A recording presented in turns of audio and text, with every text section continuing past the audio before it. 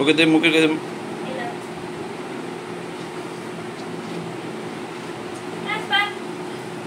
এই দিকে